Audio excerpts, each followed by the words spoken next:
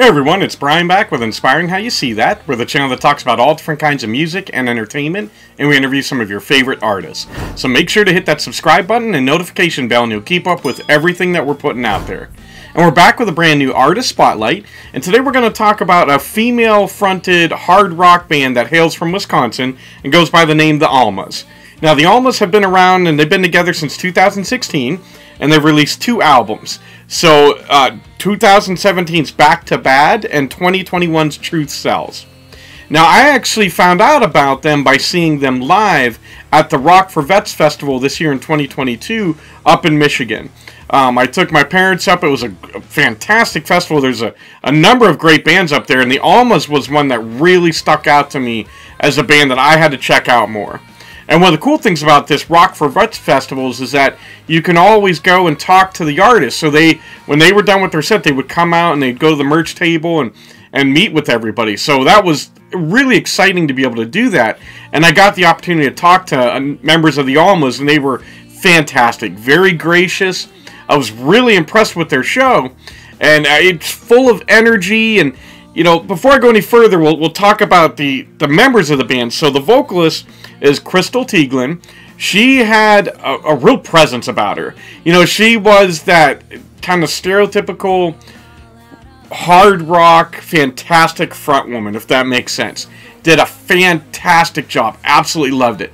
You know, she was able to captivate you, and it, it just the whole band did a fantastic job. But she really kind of drew your attention and I, I love what she did on stage.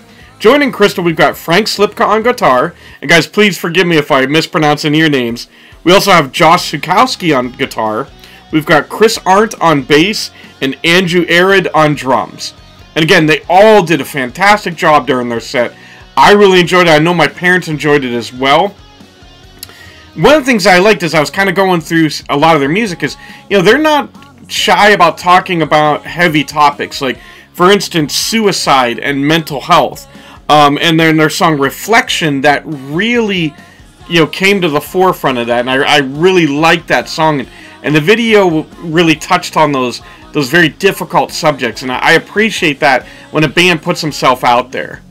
So to kind of give you an idea of what they sound like, they, they're similar in style. If you guys remember Reality Suite, uh, the band that we've, we've interviewed a couple times from New Jersey, become friends with, if I could pick a band I say is closely resembles the Almas, I would say it's Reality Suite.